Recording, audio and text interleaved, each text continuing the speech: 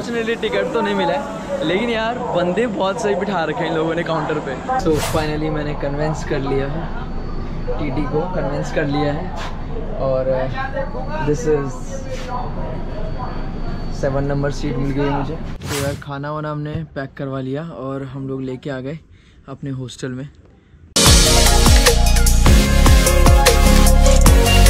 Hello hello welcome back to another video so so, अभी मैं Nizamuddin railway station के हूँ। रात के साढ़े ग्यारह बज रहे हैं। एंड मैं आठ नौ बजे तक अपने घर पे था। मस्त रिलैक्स चिल कर रहा था। पता नहीं क्या हुआ I was thinking to go somewhere तो मैंने ऐसे ही बैक पैक किया और मैं निकल गया हूँ। मुझे नहीं पता एग्जैक्टली exactly कि मैं कहाँ जा रहा हूँ। यहाँ पे जो ट्रेन में टिकट मुझे मिल जाएगी मैंने सोचा है मैं वहाँ चले जाऊँगा। जो ट्रेन पहाड़ की तरफ़ जा रही होगी मैं वहाँ चले जाऊँगा। सो लेट्स सी ये अनप्लान ट्रिप कहाँ मुझे ले जाती है। लेट्स सी देखते कहाँ कहाँ की टिकट मिलती है। I I am not sure कि मैं कहाँ जा रहा हूँ। मुझे कुछ लिटरली मुझे कुछ नहीं पता। जो जो ट्रेन जा रही होगी ना पहाड़ की तरफ़, मैंने चले जाना है। डजेंट मैटर टिकट मिल रही है, नहीं मिल रही है, मुझे फ़र्क नहीं पड़ता। बस मुझे चले जाना है। लेट्स सी देखते हैं टिकट मिलती भी है कि नहीं मिलती है। फ़ाइन देना पड़े डजेंट मैटर जाना है मतलब जाना है। चलो। तो अब चलते हैं और देखते हैं कि टिकट कहीं की मिल रही है कि नहीं मिल रही है। एक ट्रेन है जो देहरादून जा रही है, अभी मैंने पता किया है। और देखते हैं उसके लिए टिकट मिलती है या नहीं मिलती है। यार, इस लास्ट मोमेंट पे आई एम डैम श्योर नहीं मिलने वाली है टिकट। गाड़ी में बिल्कुल भी सीट नहीं है। बट ट्राई करने में क्या आता है यार? टिकट काउंटर तो अनफॉर्चुनेटली टिकट तो नहीं मिला है। लेकिन यार, बंदे बहुत सही बिठा रखे हैं लोगों ने काउंटर पे। ना मुझे कह रहा है कि कहाँ जाना है तुझे? तो मैंने बोला, मेरे को यार, जहाँ भी जो पहाड़ की तरफ़ जा रही हो उत्तराखंड या हिमाचल। तो कह रहा है, यार, एक ट्रेन जा रही है साढ़े ग्यारह बजे। रिस्क है, उसमें टिकट नहीं है और उसमें फ़ाइन देना पड़ सकता है ज़्यादा और वो पूरा एसी ट्रेन है। तो तू रिस्क अगर ले सकता तो चले जा। तो मैं बोला, यार, क्या सीन क्या होगा? तो इज़ लाइक कि देख, तेरी कन्वेंसिंग पावर पर डिपेंड करता है। अगर उसमें तूने कन्वेंस कर लिया टीटी को, कुछ भी बोल के तो हो जाएगा सीन उसमें सही। तो लेट्स ट्राई कह रहा यार ट्राई कर, हो जाएगा। So I just want to try कि यार, होगा कि नहीं होगा, अभी अभी आने वाली है ट्रेन और पूरी की पूरी ट्रेन जो है, वो ए सी ट्रेन है। यार कह रहा है, टीटी को ना कन्वेंस करियो, कुछ भी बोल के कि एग्ज़ाम है, ये है, वो है सीरियस मैटर कुछ बता दियो और चले जाइयो कैसे भी करके। चला जाएगा अगर अगर तूने टीटी को कन्वेंस कर लिया। तो यार ट्राई कर रहे हैं, देखते हैं, अगर हुआ तो ठीक है, नहीं तो फिर कुछ और देखेंगे। बट जाना है तो मतलब जाना है, ठीक है? फाइनली मैंने टीटी को कन्वेंस कर लिया है। और यू कैन नॉट एज्यूम चार सौ रुपये के अंदर चार सौ रुपये के अंदर मैं फ़र्स्ट एसी के अंदर जा रहा हूँ। और यार, मेरे को लिटरली बिलीव नहीं हो रहा कि चार सौ रुपये के अंदर मैं फ़र्स्ट एसी के अंदर जा रहा हूँ। वो भी यहाँ से देहरादून, सीधा। कन्वेंसिंग स्किल जो होती है ना कन्वेंसिंग स्किल वो भाई नेक्स्ट लेवल है मेरी। तो मैंने उन्हें कन्वेंस कर लिया। एंड हंसने लग गया वो बंदा, कह रहा है, यार, तू चार, तू तू नहीं देगा तो भी चलेगा मेरे को। चार सौ रुपये लिटरली चार सौ रुपये में कन्वेंस किया मैंने।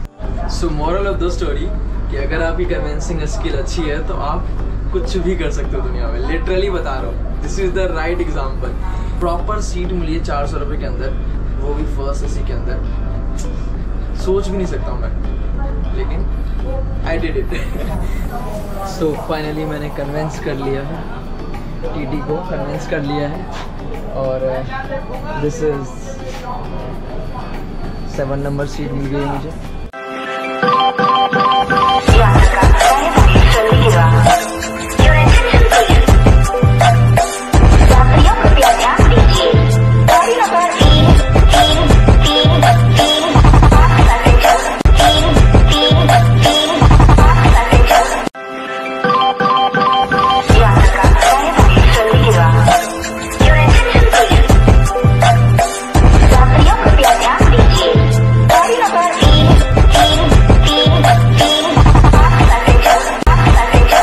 गुड मॉर्निंग सुबह के बज रहे हैं साढ़े पाँच और अपन पहुँच चुके हैं उत्तराखंड के देहरादून डिस्ट्रिक्ट में। और ये है बिल्कुल मेरे सामने रेलवे स्टेशन और यार वेदर बहुत प्यारा है यार सुबह का ये, क्या मस्त लग रहा है। अभी कहीं चाय वाय पियेंगे, उसके बाद करेंगे बातें क्योंकि यार, देखो बहुत ज़्यादा वाली नींद आ रही है। नींद बहुत ज़्यादा आ रही है तो पहले चाय वाय पीते हैं फिर करेंगे बातें। A few moments later. ये अपना हॉस्टल है और बिल्कुल इसके सामने का ये व्यू है। भाई बिल्कुल अक्टूबर नवंबर वाली फीलिंग आ रही है मेरे को जून में। कुछ नहीं दिख रहा अभी पंद्रह मिनट तक सब कुछ दिख रहा था। अभी कुछ नहीं दिख रहा। सो नहा धो के मैं रेडी हो गया हूँ और अब मैं फ्रेश होके वापस निकल चुका हूँ। बारह बज रहे हैं दोपहर के और ऐसा लग रहा है शाम के पाँच छः बज रहे हो। क्योंकि वेदर यहाँ पे पता नहीं अचानक ही चेंज हो। गया कल बहुत अच्छी धूप, अच्छी खासी धूप निकली थी, पर आज बहुत ही मतलब वेदर अच्छा है। बट यार थोड़ा सा ना कभी कभी बारिश हो रही है कभी कभी ठंड लग रही है। मुझे कैंपटी फॉल जाना था, यहाँ पे आसपास में ही है, बारह किलोमीटर यहाँ से। बट अनफॉर्चुनेटली मौसम की वजह से वेदर की वजह से मैं नहीं जा रहा हूँ। मुझे जुकाम हो गया कल अगर वेदर अच्छा होता है तो वापस मैं कैंपटी फॉल की तरफ़ निकलूँगा। और पता नहीं कि यार, आज ना मुझे ट्रैवल करने का मन नहीं कर रहा। मुझे अच्छी खासी नींद आनी चाहिए थी, पर मैं पूरी रात नहीं सोया हूँ। जिसकी वजह से मेरे को कहीं घूमने का मन नहीं कर रहा है यार लिटरली बट छोटे मोटे जो आसपास के दो चार किलोमीटर के जगह है ना, मैं उन्हें एक्सप्लोर करना चाह रहा हूँ। मन कर रहा है, बस कहीं आराम से मस्त सो जाऊँ मैं। क्योंकि यार मैं रात में सो ही नहीं पाया। मेरा जो सीट था ना, वो बिल्कुल दरवाजे के पास था। जो लोग कभी ट्रैवल किए हैं और जिन्होंने एक्सपीरियंस किया है ना, वो दरवाजे वाली सीट उनको पता होगा कि सबसे ज़्यादा गंदी सीट वही है। क्योंकि यार, कोई भी दरवाज़ा खोलेगा, आवाज़ आएगी, आप सो नहीं पाते। तो पूरी रात में बिल्कुल भी नहीं सो पाया। तो इसलिए मेरे को नींद बहुत आ रही है। कल अच्छे से यार ट्रैवल कर पाऊँगा। एंड मेरी रिकमेंडेशन ये है, जो लोग आने वाले हैं, वो सैटरडे संडे तो ना आए। यार, इतना क्राउड भाई साहब, इतना क्राउड मतलब सांस लेने की जगह नहीं है लोगों को। बहुत गंदा क्राउड और इतना ट्रैफ़िक है, इतना ट्रैफ़िक है कि आप कहीं भी एक किलोमीटर जाने में आदमी को एक एक घंटे लग रहे हैं यार। सो सैटरडे संडे तो मत ही आओ। This is not the best time One eternity later.